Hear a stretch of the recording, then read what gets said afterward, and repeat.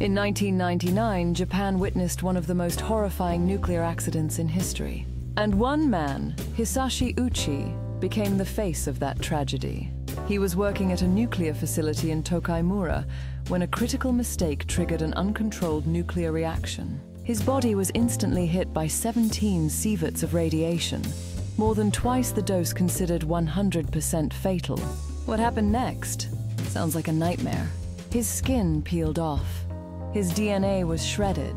His immune system was completely destroyed. He couldn't produce blood, couldn't heal, couldn't survive, and yet he stayed alive.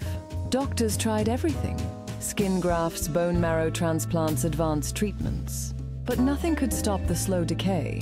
Hisashi Ouchi lived 83 days, not in recovery, but in constant unbearable pain as his body broke down, cell by cell. He's now remembered as the man who melted from the inside. For more terrifying real science stories, follow MindBolt AI, where facts are stranger than fiction.